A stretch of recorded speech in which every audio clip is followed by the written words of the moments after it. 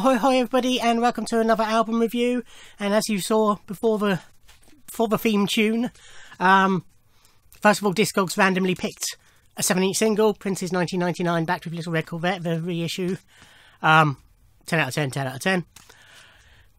Then the album it picked up was the greatest hits, and it was this one, Status Quo's XS All Areas of the Greatest Hits. I am obviously including greatest hits in this series. There is an art to the greatest hits that I feel deserves to be talked about. So I am covering them, I am including them when they're randomly picked. Similarly, I will be, if any compilations come up, I will include those as well. I will be doing reviewing these slightly differently in that I won't be going into much depth on the songs. For start, there's 40 tracks on here, so we'd be here forever. But I'm going to assume, because they're the greatest hits, that you are familiar with the big tracks and I don't need to talk about them. Um, any more obscure tracks I'll cover in a little bit more depth, but again, due to sheer volume, not much. But I will be scoring each track out of 10 and then working out an over percentage, overall percentage for the album. I'll quickly show you this copy. So it's a two CD set released in 2004. Uh, you can see a nice replica of a Vertigo Swirl on disc one, and then that's disc two. And a sneeze. And then the booklet is actually stuck into the middle, but it's a nice little booklet. A little history of a band by Mick Wall. Yep. Then cover of each tra track or sleeve if it was uh, um, well, then for each track an image either the single the sleeve the album it was on um, telling you about the track where it was from how it did in the charts so it goes through the first disc is largely 70s although there are a couple of 80s and one noughties track in there the second disc uh, bit advertisement in the middle there the second disc has some 70s as well but is mainly the rest of it. So the 60s tracks and then 80s in later. A little photo of the band at the back and all the credits. So it's a nice little selection. Uh, it's not a greatest hits. The sticker calls it a best of, that's more accurate. There's 40 tracks on here, as I say. Eight of them are album tracks. Two of them were singles but were in no way hits. Uh, one of them reached number 83 and the other was 50 something. And then two, there was two new tracks on here which were released as singles and did reasonably well, but at the time of release, they had no right to call them hits. So I would rather say it was a best of than a greatest hits. There's also two decent hit singles that have been missed off this, plus some others, but we'll talk about that at the end. Um, but yes, now we will go on to the track. So yeah, I'm not going to be doing what I do on normal album reviews, where I play a little excerpt from the track, show you what I've scored it, and talk about it. Um, I'm going to be racing through these a fair bit because, as I say, there's 40 tracks, and I'm assuming you're familiar with most of them. So, track one is Caroline, classic track, great opener, 10 out of 10. Track two is Down Down, classic track, another great song, 10 out of 10. Uh, Down Down was their only number one hit single as well. Track three, Paper Plane, Classic track, 10 out of 10. Track 4 is Big Fat Mama, which is the first of the album tracks. Musically, it's really good. It opens excellently, and the music's really good throughout. But the actual song, the melody, it's it's good, but it's not great. So I'm going to give it an 8 out of 10. Number 5 is Roll Over Lay Down. It's an excellent track. It's not quite a classic. I think it works better live than it does on the studio version. It's 9 out of 10. Number six is Softer Ride, which is another album track. It's another very strong song. 9 out of 10. Track 7, Don't Waste My Time. Another album track. It's a typical Quo track. They found their sound in the early 70s. The boogie shuffle, southern bluesy type sound. And they, they did, you know, experiment a little bit, but a lot of their tracks follow that formula, and it's the bits on top of a track that make them classics or not. You know, it's the melody of, of the um, the tune, you know, the um, how catchy it is, or anything like that.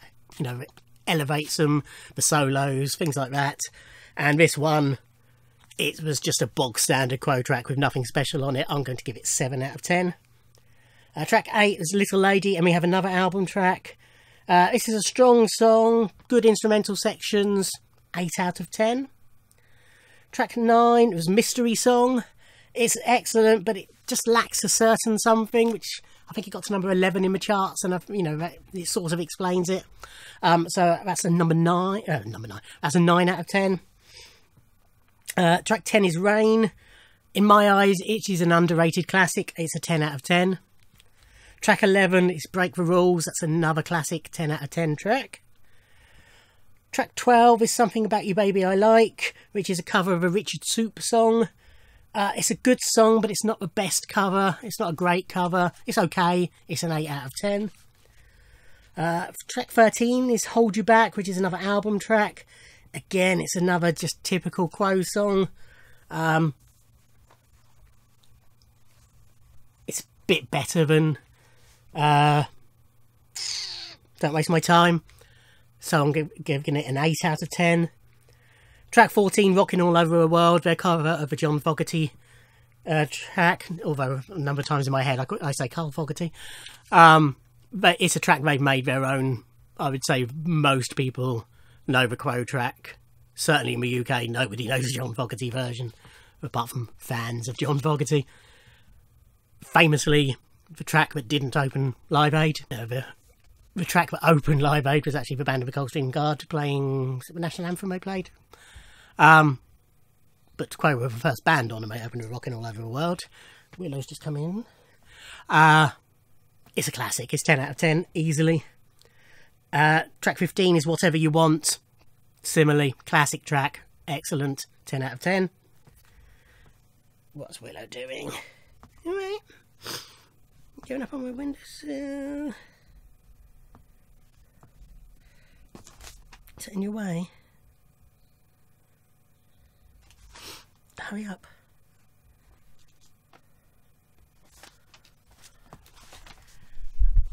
Behave. Uh, track 16 is Don't Drive My Car. Um, it's sort of funky status quo. It reminded me a lot of Another Brick in the Wall. Uh, it's from 1980, so it's same time as Another Brick in the Wall. I don't think it's a copy. I think it's just, you know, um, what is it they use? Parallel convergence or whatever it is they say. You know, two similar things happening at the same time. It's a good track. It's nice to, you know, it's a nice. A lot up to here has been very Quo, boogie shuffle type track. Um, but it's not great. Um, so I'm giving it 8 out of 10. Track 17 is Again and Again. It's a good song, there's something about the production I didn't quite like, particularly at the start. It sounded a bit tinny to me. I wasn't mad on the production, so I've only given it 8 out of 10. Uh, track 18 is 4500 Times, which is an album track, but it's a live favourite. They play it, or have played it, at practically every live gig. Um, it's a strong song. I think it worked better live. I think it it's popular because of the soloing in it rather than the actual song itself. But it's, as I say, it's strong, 8 out of 10. And then the first disc ended after 79 minutes and 57 seconds with All Stand Up, which was a flop single from 20 uh, from 2002. This was one of the one. This reached number 50. What was it? 51, 53, something like that. Uh, 51, yeah. I sort of when I thought, oh, it's that one, and it started. I thought, oh, yeah, this isn't very good. But actually, it's not too bad. Um, it's a bit formulaic, but it's catchy as hell. So I'm giving it eight out of ten. I started off with a seven, and I upped it to an eight. Um, so that's disc one done. I think disc two is a bit more interesting, although it, by and large it isn't as strong a disc. It's a bit more varied in sound. So disc two opens with You'll Come Round, which is one of the new tracks. Um, as I said, it was subsequently released as a single, did okay. It's an okay song, it's not great, it's typical noughties quo, uh, 7 out of 10. The second new track was track 2, Thinking of You. Again, it was released as a single, didn't do quite as well. I found it a bit boring, very average. Um, 5 out of 10 for that. Track 3 is Jam Side Down, which is another more recent song. Uh, to the, obviously, this is 16 years, 17 years old, so, but more recent to the release of this. Um, it's written by Terry Britten and Charlie Dore. It's a, sort of a, an American pop rock song. You know, you could picture, I don't know, you know, Belinda Carlisle doing it or Michael Bolton or something like that. Um, but then it's got the Quo Boogie underneath it. It's not a great track. Uh, 6 out of 10. Number four is Creeping Up On You, which is an album track from the same album that Jam Side Down is on, Heavy... Heavy, I was going to say, Heavy Traffic. Um, it's made me feel like it was a poor man's Roll Over Lay Down. Um, very similar rhythm, quite a similar me melody. It was okay. Um, I'll give it a 7 out of 10. It's also a bit too long. Was, I think it was about five minutes and it could have finished quite happily after about three and a half. I do, did find, listening to this on a whole, that quite a lot of our, yeah, five minutes in a second, quite a lot of our songs could have been a little bit shorter. Uh, track five is Down the Dustpipe, which was their first song that gave them their new style. The, the as I say, the boogie boogie rock, boogie shuffle, whatever you want to call it, um, style. It was a cover of a song written by Carl Groszmann, an Australian singer-songwriter. The version on here is the 2003 re-recording from their Riffs album. Um, it's very similar to the 1970 original. See, their voices are slightly different, and it's about 10 seconds longer. Um, it's excellent track, 9 out of 10. Then number six, and we go back to the 60s and their early work, and we have Pictures of Matchstick Men, their first ever hit. Um, this is before they found their sound. This is when they were a psychedelic, poppy, rocky type band. Pictures of Matchstick Men is my favourite status quo song, 10 out of 10. Track 7 is Ice in the Sun, which is a Marty Wilde cover from the same era. It's more of the same, but it's not quite as good, so I've given it an 8 out of 10. Uh, track 8 is In My Chair, which was a reasonable song. Um, it's, again, uh, 19, from 1970. It was a B-side to um, Down the Dustpipe, and then had its a release on its own, I think. Is that right?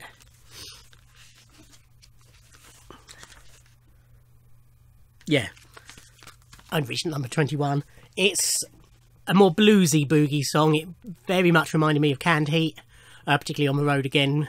The vocal effects were similar, and it had that same sort of beat to it. It was it was decent enough, seven out of ten. Uh, then we go to Gerdundula, or Gerdundula. Um, this is an album track. It did have, it was a B-side, and then it did have a single release in Germany, I think it was, but didn't do anything. Um, so they class it as an album track on here. It's written by Rossi and Young, but for possibly copyright reasons, it was credited to Marston and Jones, um, who don't exist. It's a very, very different track. It's folky, Celtic, acoustic vibe. I loved it. 9 out of 10.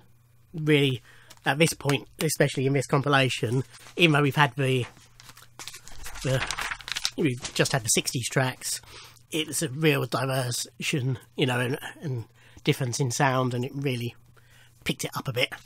Uh, track 10 is Wild Side of Life. Uh, written by Warren and Carter. Cover of a country song by Hank Thompson. It's strong. I'm not a big country sound, but uh, country fan, but with the Quo sound underneath it, I think it really works. 9 out of 10. Track 11 is Rock and Roll, probably the first slower song on the album. Um, it's a classic. I've always loved it. 10 out of 10. Track 12 is What You're Proposing. This is another excellent song. It's not quite a classic, but it's way up there. That's 9 out of 10. Track 13 is The Wanderer. It's the cover of a Dion song written by Ernie Marson. I think that says. Can't read my own writing. It's a great song, but this is not a good cover. they've, they've done worse and we're coming up to worse, but it's a 7 out of 10 for me. Track 14 is Living on an Island. It's a slower song again. Get, sort of gives me an Eagles vibe. It's very good. I don't love it. It's an 8 out of 10. Track 15 is Margarita Time, another slower song. Another track I've always liked. Don't quite love it. Again, it's an 8 out of 10. Track 16 is In the Army Now, which I know divides a lot of people. Personally, I've always liked it. Um, it's you know it's around the time I was getting into music that this was a hit, or you know really getting his music. Um, but it's very atypical. It's a cover of a song by a Dutch duo, Bolland and Bolland. So, I like it. Um, 9 out of 10 for that one. Then it goes downhill, and track 17 is When You Walk in the Room, which is a Jackie, De- De- Jackie DeShannon cover. Um, on Wikipedia, when it tells you about this song, it's then got notable covers. Quo aren't even in the notable covers. It's a great, you know, it's a really good song, but they do it and it just sounds like a average to poor pub band covering it. Uh, I've given it 5 out of 10, and I think that's largely just because it's a good song. Track 18 is Burning Bridges, which is based on an English folk song, Darby Kelly. It's catchy as hell. We'll ignore the Manchester United version. I'm giving it an 8 out of 10. Then we have 19, which is Fun Fun Fun, which is a cover of and with the Beach Boys. Fun Fun Fun, shit shit shit. 4 out of 10. And those four are for the bits where it sounds like the original and for the Beatles uh, and for the Beach Boys harmonies. Oh, can't stand this cover. Uh, number 20 is Old Time Rock and Roll, which is a cover of a Bob Seger song, which is probably best known for its use in Risky Business. The scene where Tom Cruise is dancing around the living room in just his shirt and pants. That's it's that song. This was another flop single. This was the one that reached 1983. It's a pedestrian cover of a good song, so I've given it 5 out of 10. And then it ends with Anniv- then it ends with Anniversary Waltz Part 1 it's a fun medley of covers. Um, they recorded it live in the studio, so it's a bit like Jive Bunny, but it's recorded live. Um, it was actually a, a, longer piece, which they split into two, part one and part two. Uh, part two was also a single, but it's not on here. But part one was, was the bigger hit. I've always had fun with it. You know, it's not great, but it's a nice little choice of cover songs to cover and done well. Seven out of ten for that. Um, yeah, so that is it. So overall, it was 325 out of 400, which is 81%, which is pretty strong. You know, when it when they're good, they're really good, but particularly that period where they were concentrating on covers and they weren't doing them very well has marked them down a bit. So the two big omissions from this album that were decent hits, so I think they were both top 20 possibly one of them might have been top 10, I can't remember. Um, and both tracks that I really like are Dear John and Old Rag Blues. They could quite easily have lost Fun Fun Fun, When You Walk in the Room, even The Wanderer, Old Time Rock and Roll, eh, you know, any two of those. Got rid of those, or two of the album tracks. Some of the album tracks I think deserve to be on, on here. Definitely Gerdundula. But when they just sound like normal Quo songs, you know, and just aren't as good as the singles, what's the point in putting them on here? Surely you should be putting on album tracks either if they're particular fan favourites, like 4,500 times, or if they show a different side of a band that aren't reflected in the singles that they've chosen to release. Um, so yeah, they could, you know, certainly one or two of the album tracks could quite easily have been dropped from this in favour of singles. Um, so yeah, how do I feel? Having given it 81%, which is a good score, you know, because there are some real classic tracks on here and they are a band I like. How do I feel about this compilation as a whole? Having said, you know, there are some omissions and some tracks that could have done with. I think it's a well presented package. I like that it's not strictly chronicle. I don't like so much chronologically arranged greatest hits. It, sometimes it works, but not always. I'm glad they haven't front loaded it with the hits. I mean, most of the hits are on disc one, but there are some reasonable hits on disc two as well. As I said at the start, it's largely 70s on disc one, which works. They've stuck the other tracks in there, a couple of 80s and one noughties one in there. Mixes it up a bit. And then track, uh, so CD2 is more the rest of the career, but with some 70s in it as well. So it, it works well as a nice mixture. Maybe they could have put a few more of the big songs that are on disc one onto disc two. You know, maybe move. You know, got Caroline Down Down Paper Plane first three tracks. Maybe move Paper Plane onto disc two, and something something about your baby I like or something like that. Stick it on disc two as well. That would probably even up the, the classic quotient. But a strong best of they have released many best ofs. Uh, there's, I think, three more after this one, and three or four before it. I, from my limited experience, I would say anything they release after 2004, you can pretty much ignore. I know there'll be some Quo fans saying, nonsense, they've released some classic stuff, and I'm sure they have. But certainly hit singles wise, there wasn't really anything after this. Whether that be the fault of a band or the fault of the radio stations not playing them, probably a bit of both. Uh, so yeah, I would possibly argue that this is the last one that you really needed. But I do think you should have a, a status quo greatest hits in your collection of some sort, be it the uh, rolled gold, not rolled golds, 12 gold bars records which are easily found in record and charity shops, or I say, something like this, or one of the similars. Okay, so that's it. That's long enough. That is my review of XS All Areas, the greatest hits, the best of status quo. Hope you enjoyed that. I will be randomly choosing another album, and that will be up sometime soon. Hopefully, sooner. I know there's been quite a big gap between the last album review and this one, partly because I was a bit daunted by the size of this and didn't know how to do it, and just having the time. You know, that's nearly three hours of music there that I had to sit and listen to and take notes. But yeah, so hopefully it'll be a bit more frequent from now on. Thank you for watching. Like, comment, and subscribe, and I'll see you in another video. Thanks. Bye.